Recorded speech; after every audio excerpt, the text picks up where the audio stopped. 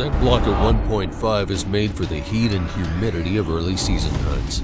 It's the lightest, thinnest, most comfortable scent control in the world.